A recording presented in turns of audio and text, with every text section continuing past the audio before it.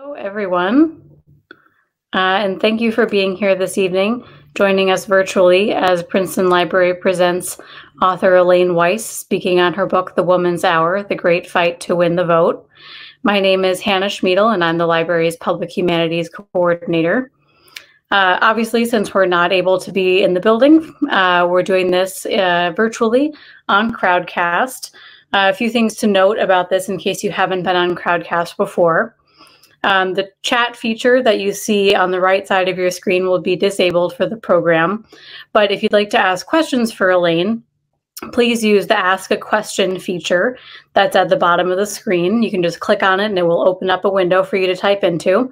Uh, at any point during the conversation, you can submit questions there. And you can also see if other people have submitted questions. You might have a similar one and you can upvote them so that they kind of come to the top of the queue. And at the end of the presentation, I'll be the one to read um, some of those questions for Elaine to answer uh, for the Q&A portion.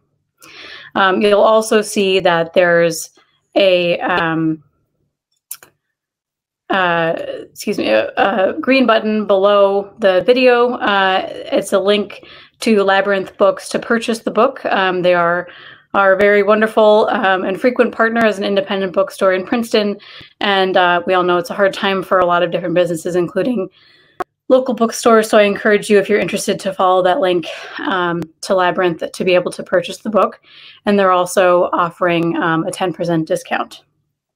So, our author this evening, as I said, is Elaine Weiss. Uh, she's an award winning journalist and writer.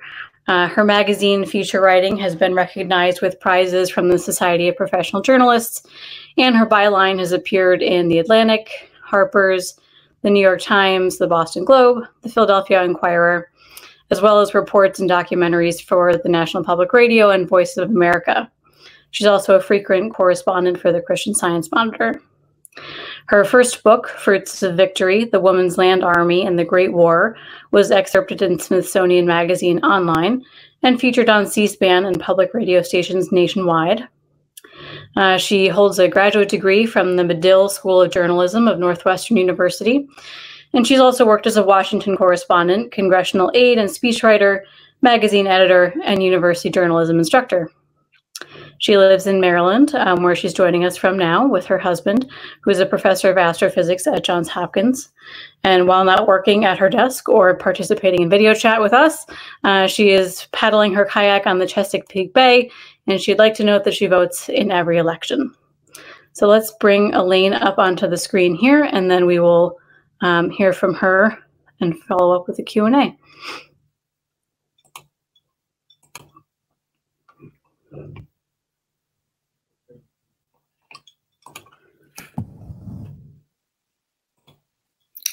Hello. Um, I, I, hope I'm, I'm, you can hear me. Hi, I'm Elaine Weiss.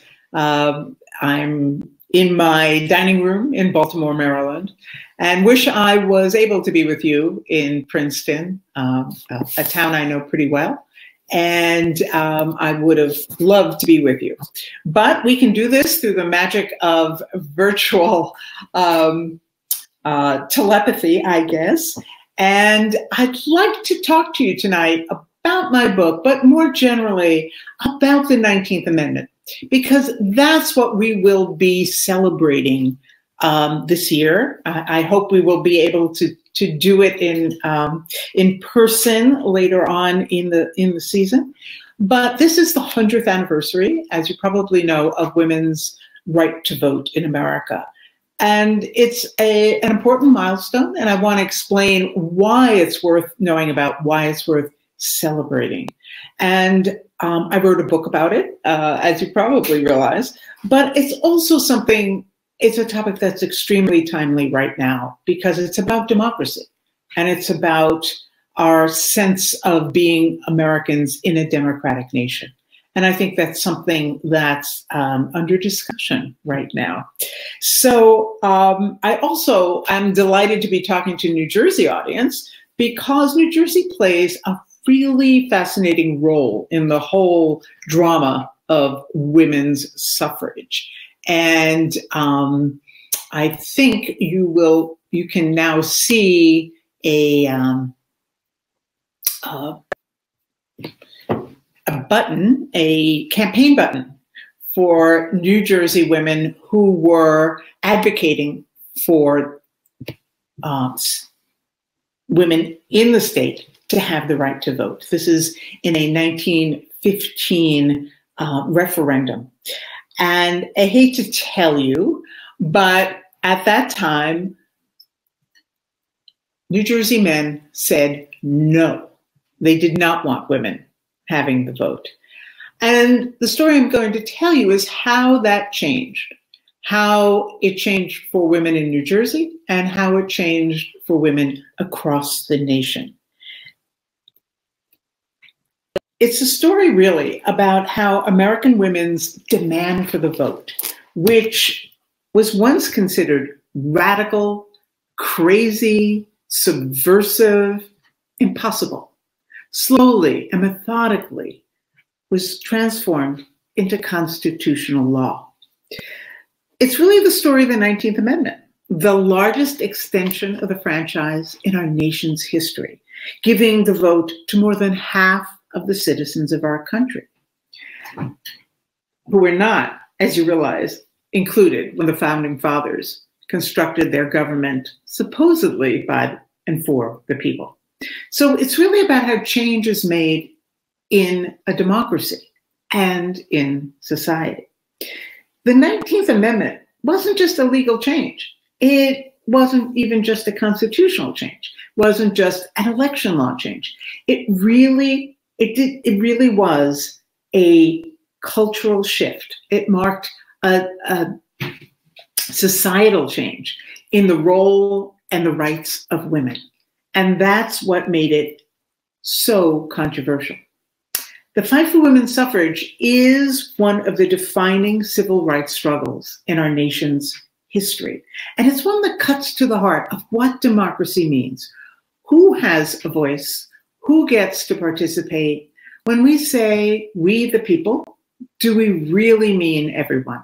And of course, we're still asking those kinds of questions today. If you read the standard histories of American um, society in the textbooks. Uh, and I hope this will change uh, very soon, but it's still true that if you look, you'll only get a very brief and fuzzy idea of how American women won the vote. And that active verb, won, is very important because we were not given the vote. We were not granted the vote. We had to fight for it bitterly and over a very long time. And so that what it usually says is in 1848, American women demanded the vote at the Seneca Falls Convention. And then in 1920, they were given the vote. And there seems to be nothing explained in between.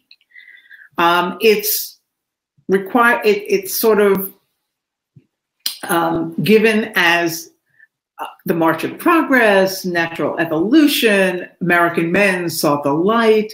No, that's not how it happened. It required three generations of fearless activists working over seven decades to win the right to vote for American women. And the culmination of that entire crusade, what we call the suffrage movement, came down to one fierce six week battle in Nashville, Tennessee in the summer of 1920. In the summer of 1920, one last state was needed to ratify the 19th Amendment to the Constitution, giving all women in every state the right to vote for the first time. 35 states had ratified. 36 or three quarters of the 48 states in the Union were required for full ratification. And it turned out that Tennessee might be that 36th state. If the Tennessee legislature approved the amendment, it would become the law of the land. And 27 million women would be eligible to vote in the 1920 presidential elections and the national elections. If the amendment failed, however, 10 could be that the amendment would have been delayed for an indefinite period and perhaps not enacted at all. And it's something the suffragists really feared. And those of us who have lived through the vicissitudes of the Equal Rights Amendment, which was introduced soon afterwards in 1923, know that an amendment can come very close to ratification and not make it over the finish line. And so the suffragists really feared that if they couldn't take advantage of the momentum which had um, they had um, worked up, uh, that they might not get see the amendment ratified in their lifetime. And I think it was not um, a frivolous concern of theirs.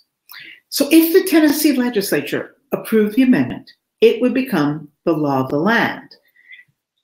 And the enfranchisement of half of the citizens of the nation was at stake, and it all came down to Tennessee. Now, by 1920, the suffragists had been fighting for the vote for 72 years.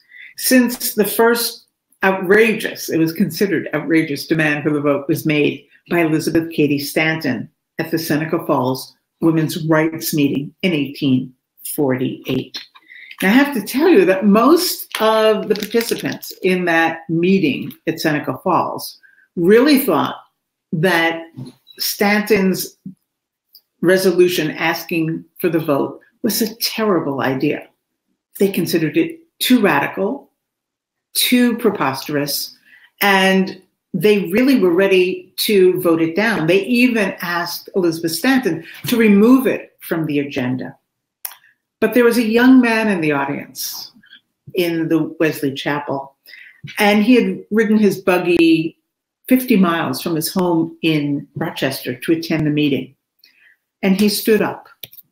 And it was a young Frederick Douglass, just 30 years old, just 10 years out of slavery. And he stood up and he said, No, you must demand the vote. It will not be given to you, and it will not be given to me unless we demand it. And he convinced the other very reluctant participants at the meeting to approve Elizabeth Stanton's resolution number nine, demanding the vote for American women. Now, Frederick Douglass is really one of the heroes of this story. He called himself a woman's rights man, um, and he truly was. He believed in universal suffrage. He believed in the rights of all American citizens to vote.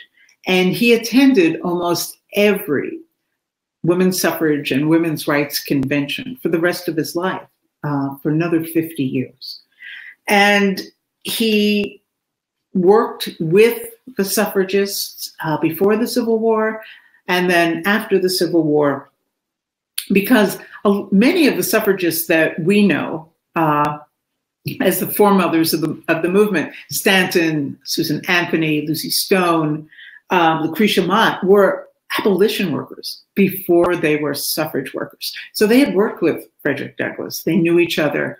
Um, they were on the same team until there was a heartbreaking uh, split uh, after the Civil War when the 15th Amendment gave the right to vote only to Black men and not to Black women and not to white women.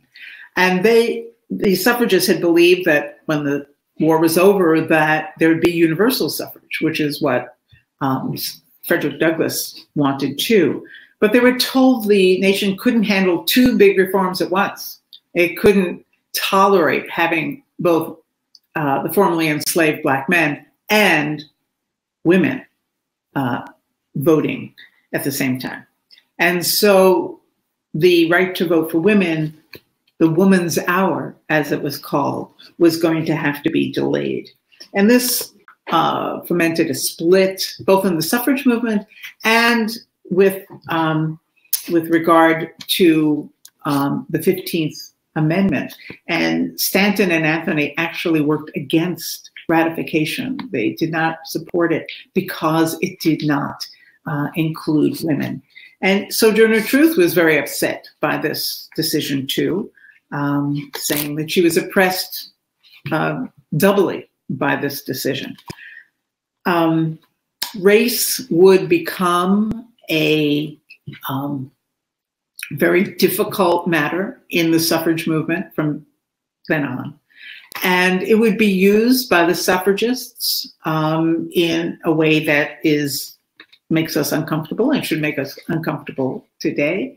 But it, was used also by the anti-suffragists who really weaponize the idea of race and use it to advocate against the federal amendment. And we'll be talking a little bit more about that as we go on.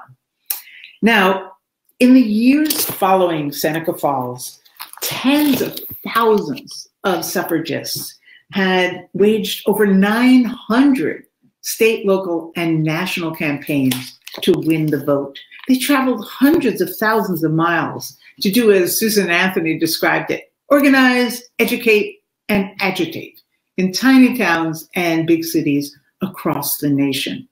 And we see them begin in horse and buggy, and by the end of the movement, they are campaigning in automobiles. They had to change hearts and minds um, about women's role in society before they could change the law. And so they had to travel all across the nation. It was really a stupendous feat of organization without any of the travel or communication tools that we take for granted today.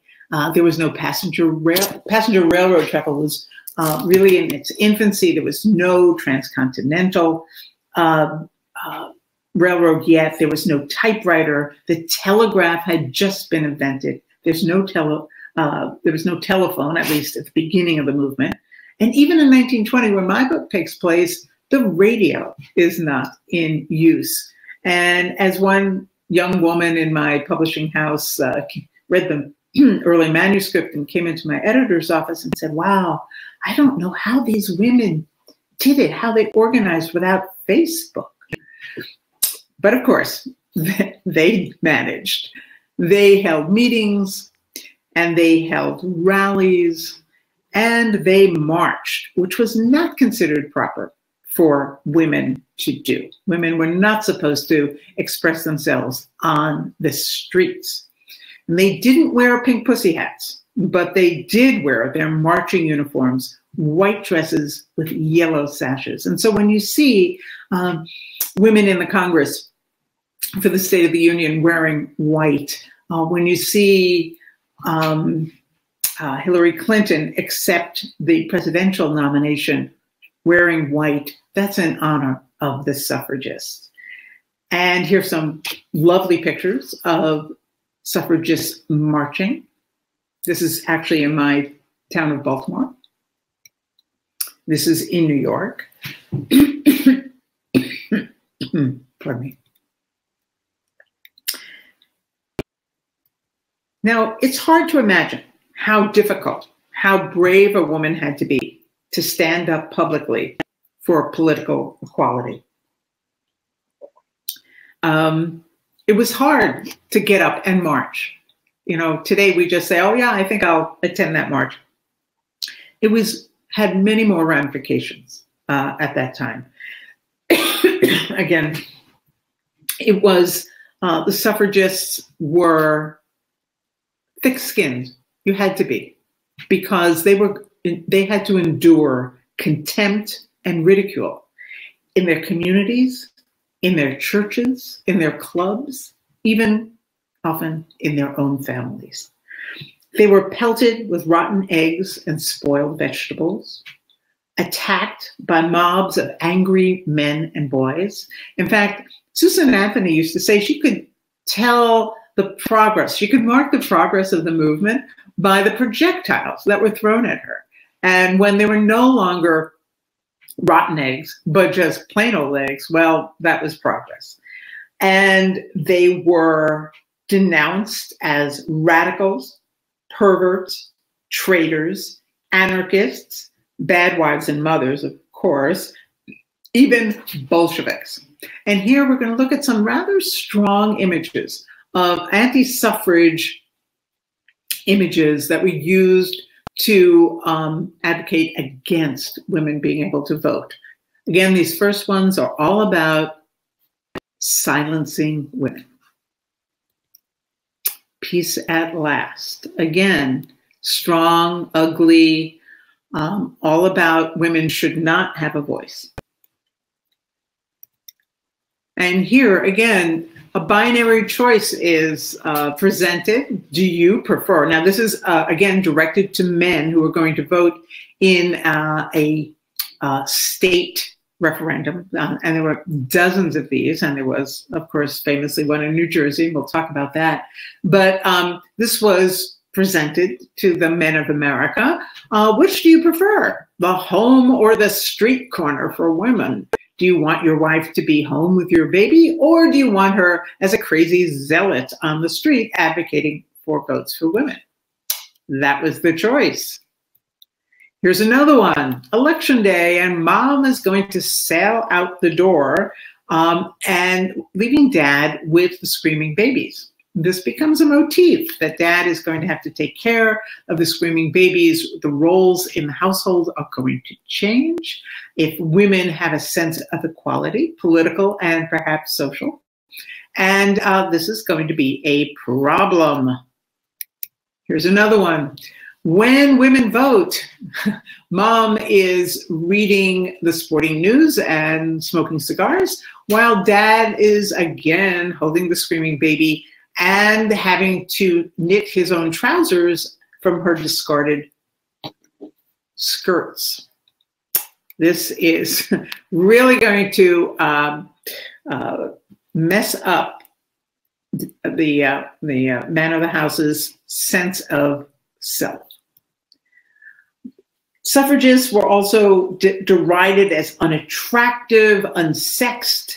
Um, they were, why would a woman, an attractive woman, ever want or need the vote? She should have a man who will vote for her.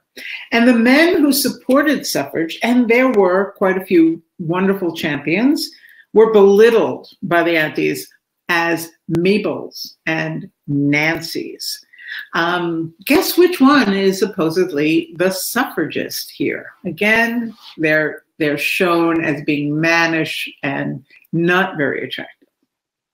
And again, it's clear what the anti-suffragists were playing upon, fears that um, the idea of women's equality would emasculate American men and um, defeminize American women. Clearly, they were frightening. Here's one of my favorite anti-suffrage cartoons, and um, I think this is self-explanatory. Now, in their quest for equal suffrage, the suffragists were um, had to employ a wide variety of stratagems and methods, and many of these uh, marches and demonstrations and picketing and acts of civil disobedience would later be adopted by the civil rights campaigns of the 20th and even the 21st century. So they are pioneered in the suffrage movement, and then they're used by um, succeeding uh, civil rights uh, campaigns. The suffragists were ingenious and fearless. They had to be. To test the prohibitions against women voting, Susan Anthony, Sojourner Truth, and about 150 other women actually voted in the 1872 presidential election. And Susan Anthony was soon arrested, put on trial, and convicted of illegal voting in a federal election. Here's a contemporary magazine that shows Susan Anthony usurping Uncle Sam's hat. It is um, captioned The Woman Who Dared. And um, she was convicted. She was made, she wanted to go to prison, but the judge did not want a noisy martyr in prison.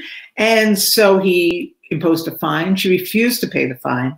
And she went around the uh, New York State where she was um, being, being tried and gave lectures with the title, Is it a crime for a US citizen to vote? And of course, we're still asking that question again today. So the failure of this voting experiment led Susan Anthony and Elizabeth Stanton to draft a constitutional amendment that would supersede all the state laws that prohibited women from voting. It was introduced into Congress in 1878, and it was stalled there for 40 years. Meanwhile, the suffragists worked to change state law because the states are actually in charge of voting requirements uh, for their residents. And so they tried, while they were working in Congress, to have a federal uh, amendment, a federal suffrage amendment. They also worked in the states to change laws there.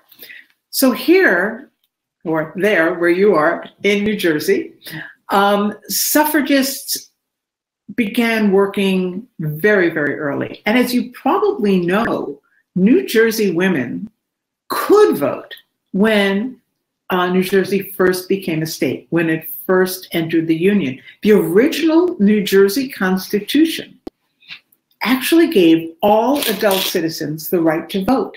It even used the pronouns he and she. But that right and here's this lovely picture, a little engraving of women voting. Um, but that right was withdrawn in 1807, and it took more than a century to gain it back. So New Jersey has this distinction of actually allowing women to vote for the first several years and then taking it away. In 1867, uh, Lucy Stone, one of the uh, foremothers of the movement, who was at that time living in Orange, New Jersey, actually refused to pay her property taxes, claiming taxation without representation. And she was fined. And New Jersey women kept trying to bring up the topic of suffrage and kept trying to raise awareness of the importance of it. And here's some women, uh, again, this is in the uh, 19 teens, and they are uh, suffrage parade. This is one in Vineland, New Jersey, won first prize in the parade.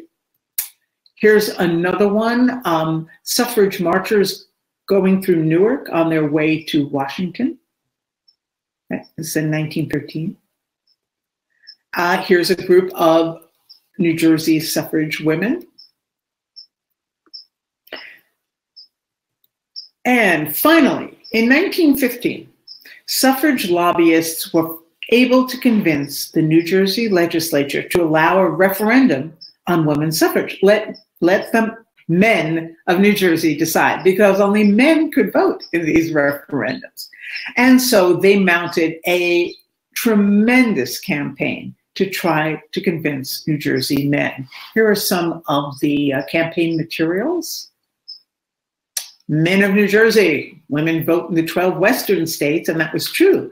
In the Western states, um, those states allowed women to vote. And that was one of the things that the Eastern states used as a model. And so, why not here? Um, here's one where the Women's Political Union of New Jersey sent out pledge forms to men saying, Will you vote? I will vote for equal suffrage. And you uh, were held to this. I don't know what the penalty was, but uh, if you didn't, but uh, it was your word of honor. Again, this the New Jersey campaign was part of a multi-state effort to break the resistance of eastern states towards women voting. Western states uh, many of them had it, as you saw from that map, but not in the East, and for the most part, not yet. A uh, few Midwestern states, actually, Illinois did have it at this time. But so this was sort of a Super Tuesday, a little Super Tuesday for women's suffrage. There were campaigns simultaneously in New York, Pennsylvania, Massachusetts, and New Jersey.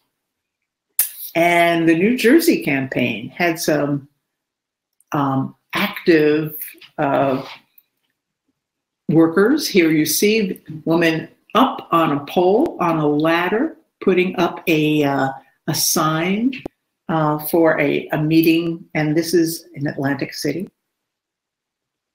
Here's another um, broadside, a poster for a meeting in Cape May. Here's a wonderful picture of a uh, Votes for Women campaign uh, office on the boardwalk. And I think this is my favorite, the suffrage torch, which was passed between New York and New Jersey.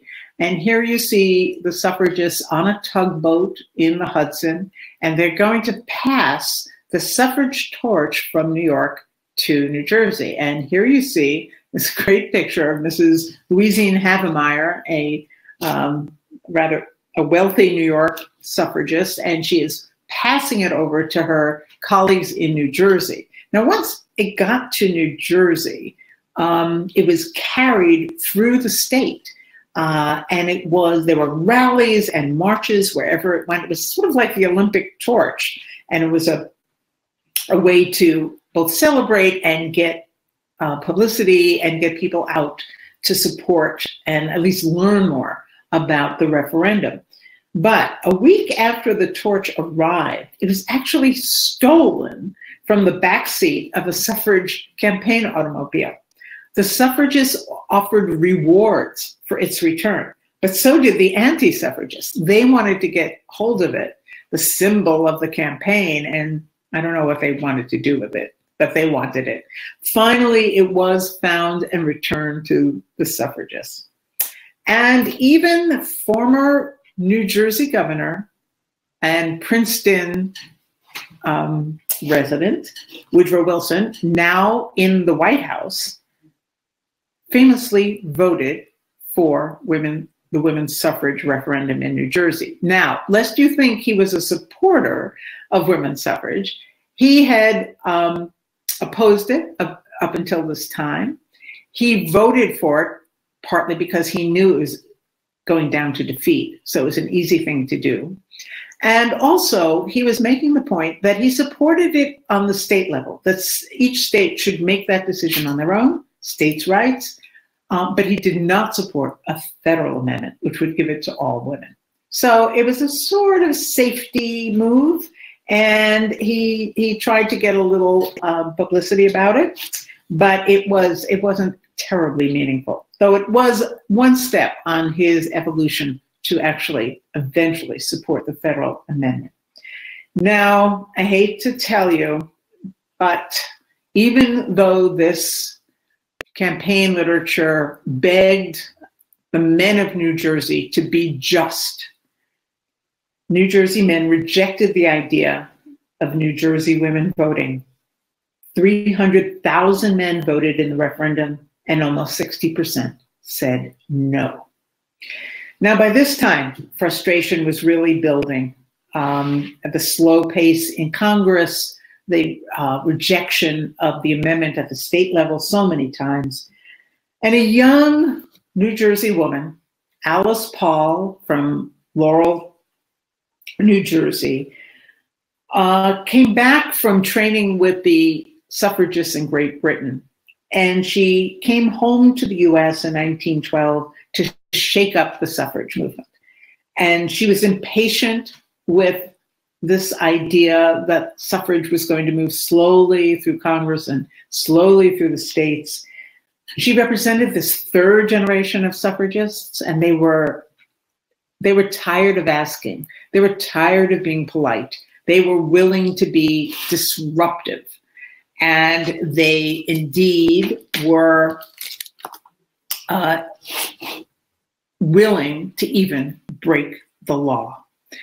And so her National Women's Party did things that had never been done before.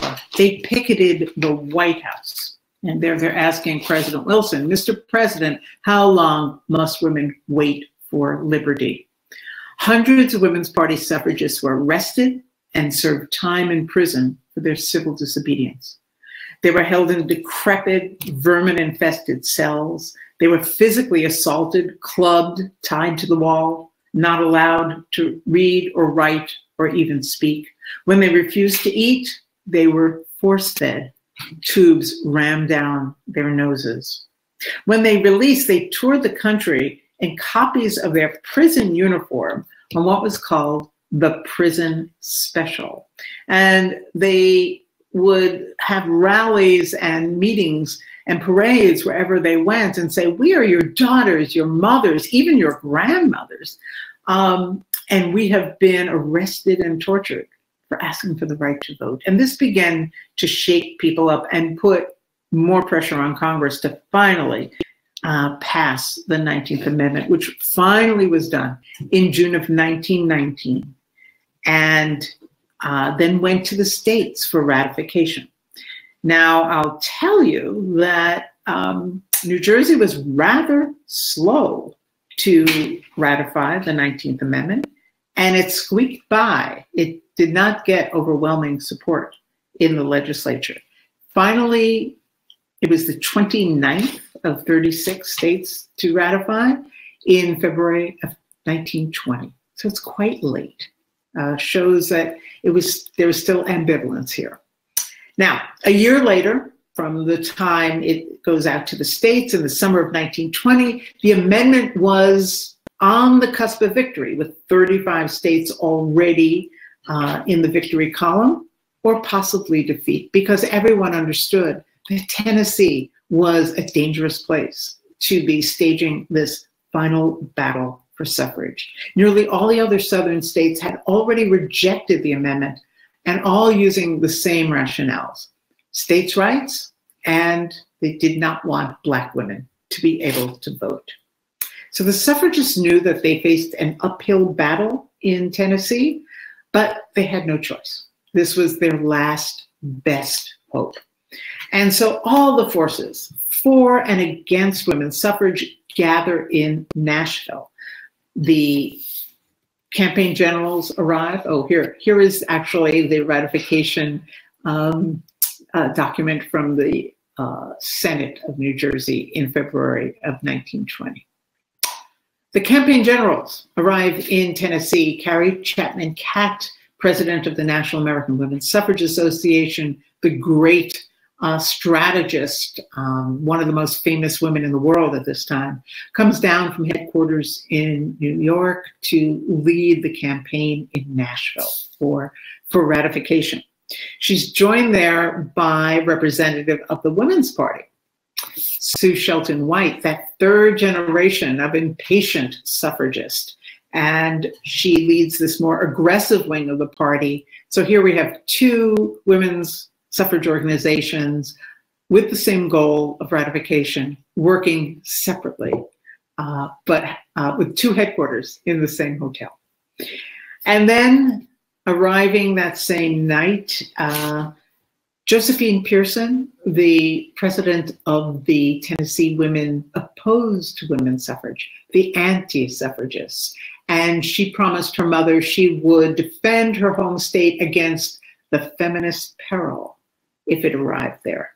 And they're joined by more than a thousand women and men from across the state and across the nation. There were powerful forces working against suffrage in Tennessee. Political, corporate, and ideological foes, all with their own reasons for opposing the vote. But the most passionate foes of the 19th Amendment turned out to be women. That women might oppose their own enfranchisement was really shocking to me when I first encountered it in my research. But you, we have to understand that many of these anti suffragists were social and religious and cultural conservatives who feared that suffrage would bring about a profound and unhealthy shift in gender roles. They felt it would endanger the American home and bring about what they call the moral collapse of the nation. It would alter private life as well as public life. And that's what made it so controversial. Uh, and I think this is an important reminder that the debate over women's suffrage was never just a political argument. It was also a social and a cultural, and for some, a moral argument about the role and the rights of women in America. And it's a precursor to what we now call the culture wars. And here's, again, a favorite uh, anti suffrage broadside of mine. It shows, uh, it's called America When Feminized, and it shows a hen and a rooster. The rooster, uh, pardon me, the hen is wearing a Votes for Women sash. She has just walked off the nest, and the rooster calls after her and says, Ma, the eggs are gonna get cold. And she calls back and says, Sit on them yourself, old man. My country calls me.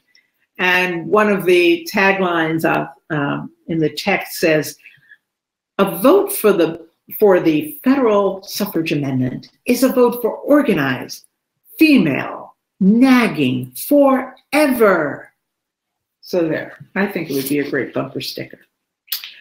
So now, all sides confront one another in Nashville, and it gets wild. There's bribes and booze and propaganda and blackmail, conspiracies and kidnappings and fistfights. The newspapers call it suffrage Armageddon. And the outcome remains in doubt until the very last moment. And I won't spoil it for you, but it does come down to a single vote of conscience from the youngest member of the legislature who receives a letter from his mother.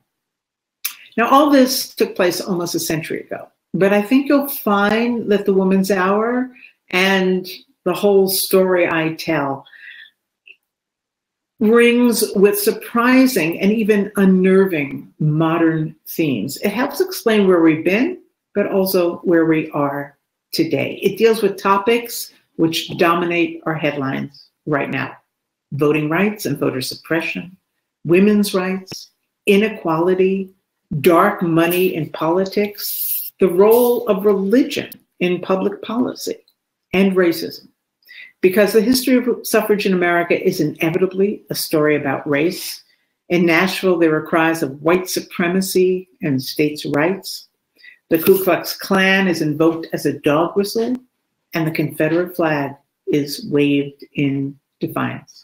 And of course, we've been hearing echoes of that in our news lately.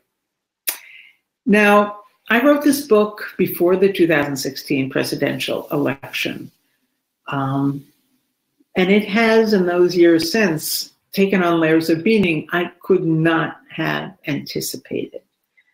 I think there are important lessons to be learned from the fight for women's suffrage. That social change is slow and political change is hard. That the struggle to expand our democracy is ongoing. It was not accomplished in 1920, and it's not secure now. While the 19th Amendment gave the vote to all women, Black women and men, Asian women, and Native Americans would have to wait decades longer to secure their voting rights. I hope the story I tell will teach a new generation of activists that protest is patriotic and necessary, but it must be followed up by well designed and sustained political strategies. The suffragists didn't just march and picket, they also debated and lobbied and drafted uh, legislation and campaigned. And they did not rest after the 19th Amendment entered the Constitution. Carrie Chapman Catt founded the League of Women Voters, which is celebrating its 100th birthday this year, too. And Alice Paul drafted the next step in women's rights, the Equal Rights Amendment, which again was introduced into Congress in 1923. It has still not been fully ratified and enacted.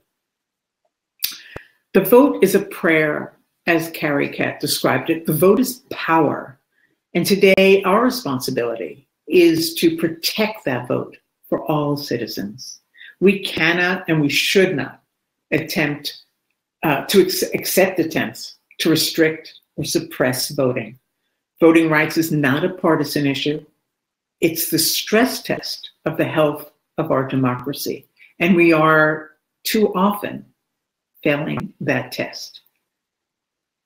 I believe that when we think of the suffragists, the best way to commemorate their persistence, their creativity, their belief in democracy is to make sure today that every eligible citizen is able to vote. Thank you very much. And I'm eager to take some questions.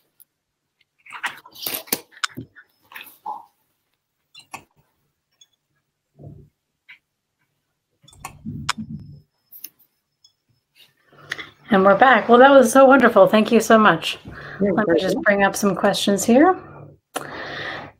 Um, all right. So, in terms of the Equal Rights Amendment, which, which you mentioned just towards the end here, uh, one of the participants asks why you think it hasn't been ratified yet. well, um, that's probably um, that's a, a, really interesting and complicated uh, question. Um, on the one hand, some of it is the same reasons why it took so long for suffrage to be uh, to be enacted. Um, but I should explain also that the Equal Rights Amendment was not universally um, applauded or supported, even by the women who had been suffragists. Um, so it was controversial from the beginning it's I think it's in some ways less controversial now, but there was um, a fear in 1923 that it might um, endanger some protective legislations in industries, particularly that um, women in the progressive movement and suffragists had worked for a long time to enact that protected women in the workplace, like not having to lift um, loads that were uh, heavier than, I don't know, 25 pounds or something like that. So there, there was um, protective legislations that had been hard won, and they feared that the Equal Rights Amendment might endanger them. Whether they would have or not legally, I'm, I, I cannot answer. But it means that women who were involved in the labor movement did not support it. Um, Carrie Catt did not support it. I think that part of that is uh, her animosity towards uh, Alice Paul. Um, but Eleanor Roosevelt never supported it. So it was not something that was universally seen as uh, uh, the most important thing for women at the time. But I think as we have evolved, and some of these uh, issues have been put into statute, you know, improvements, um, protections, legal protections, financial uh, protections. But as Justice Ginsburg has said, statutes can be changed. Statutes can be taken away. And so the only way to secure some of the gains that we have, we take for granted today, um, uh, women's ability to sign her own uh, credit card, you know, that was only gained in the 1970s. So I think the Equal Rights Amendment is seen now as uh, an important tool in, in making sure that we don't slip back. Um, but again, um, I, th I, think there's actually a TV series going on now. I haven't seen it uh, that talks about the rise of Phyllis Schlafly, um, who actually, if you read the afterword of my book, comes out of the anti-suffrage organization model. It's really interesting. There is a, a clear maternal line between the anti-suffragists and um, and Phyllis Schlafly and, and the uh, Eagle Forum. So it's a very interesting question. It's complicated. I certainly support the Equal Rights Amendment. Um, as you know, uh, Virginia did ratify um, in January. That's the 38th and, and the last state needed.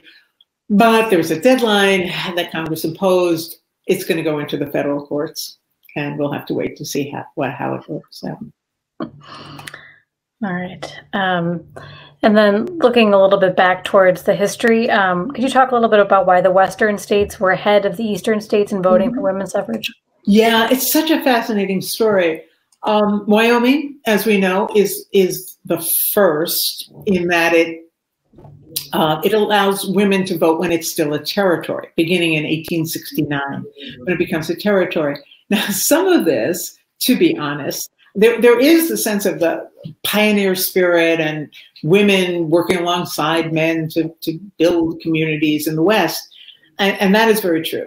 But it's also true that they needed women. There were about six women in Wyoming in, in 1869. And so it's used as a marketing tool. Come to Wyoming and you'll have the vote.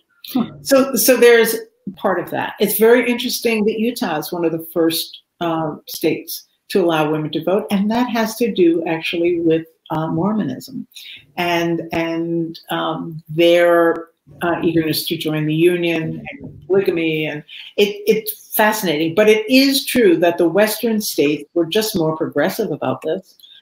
Um, and the the um, California votes in after many failed referendums. Finally, in uh, I believe it's 1911, does give women the vote.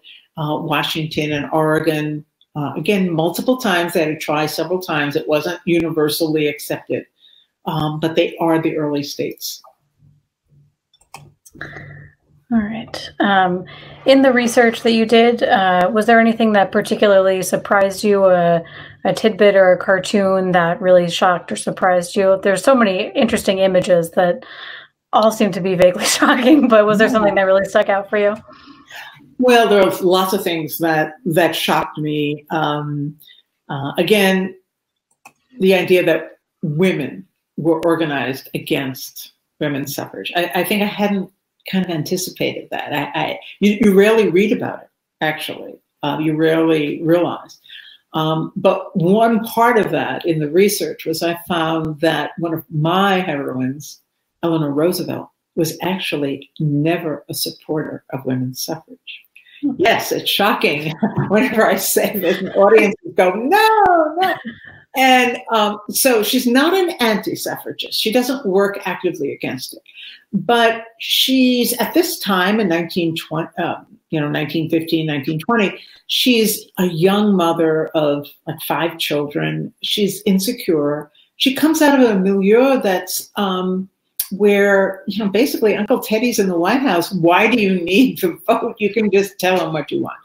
Um, so, but there, there was, um, you know, there was a, a very strong anti-suffragism in New Jersey too, and tended to be wealthy women, not completely, but it did tend to be wealthy women who were very satisfied with the status quo, and their husbands and brothers and, and fathers were the titans of industry, were in the Congress, were in the state legislature. They they felt, you know, I, I can I can uh, express my opinions that way. And so Eleanor Roosevelt comes out of that milieu and she is very ambivalent. She never supports the movement. In fact, in 1918, when New York women do win the vote through a referendum there, um, she refuses to vote. She does not vote in that first election where women in New York are allowed to vote. Now, what you see is a very fast turnaround. As soon as the 19th Amendment is ratified, she joins the League of Women Voters, becomes a protege of Carrie Chapman Catt, who sees her potential and taps her to be um, one of the, the leaders of the organization. And you see her political career really blossom. But that was a little shocking to me. Um, and then I think uh, we'll sort of finish up on the question of uh, what influence these suffrage efforts have had on other movements since then, and then if there are any sort of lessons that you would draw for women's or other minority sort of equal participation today. Wow, that's a big one.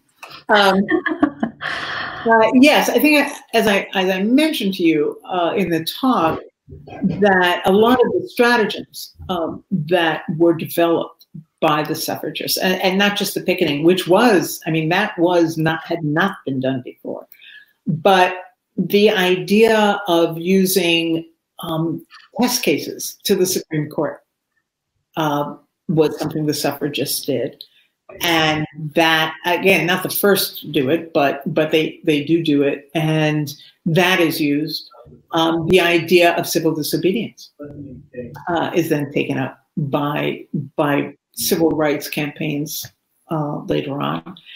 And so while it's not usually acknowledged that the suffragists actually pioneered these, they really, really did. I think one thing um, that we have to recognize is that the suffragists weren't perfect. They didn't do everything correctly or right. They were doing sort of what they uh, could manage uh, in each campaign. And sometimes that meant uh, leaving their Black sisters behind. And that's something that I think we need to both uh, recognize and confront and understand what uh, the, the reality that they face too. Um, but understand this as a, a, an experience that you don't get to um, practice politics in a, in a perfect uh, ecosystem. And uh, on the other hand, no civil rights group can afford to leave behind um, their brothers and sisters. And so we need to understand and do that better. Uh, and I think part of the centennial is understanding uh, exactly how that happened and uh, try to rectify it. It also teaches us that we shouldn't expect women to work perfectly together. Uh, but on the other hand, uh, you know, there, there is there are splits in the suffrage movement, um, and certainly by the end, the Alice Paul and Carrie Catt are not working harmoniously together, and their their followers are not working well together. But um, you know, is it is it if this was a men's political organization, they'd say that there was a difference of opinion and, and strategy and tactics. And here, you know, often it's depicted as a catfight. So we have to realize that women are not going to agree on how to achieve uh, certain goals, even if they share the goals. And also that women will disagree, as we see for the anti-suffragists, um, and maybe we are not being realistic when we expect women to think in a monolithic way. So I think that's a, a valuable historical perspective. It may be a little painful, but it is it is valuable. All right. Well, um, I would like to thank you again. We'd all be giving you a round of applause if we were there in person. We really appreciate uh, your presentation. And uh, I have started the book. I look forward to finishing it. Um, and I'll remind people again, there's the green button just down below if you'd like to purchase the book from Labyrinth. And if you want to see upcoming uh, Princeton Library events, you can visit our homepage for things that are coming up. So, again, thank you so much, Elaine, for being here with us this evening. And uh, good night, everyone. Good night, everyone. Thank you.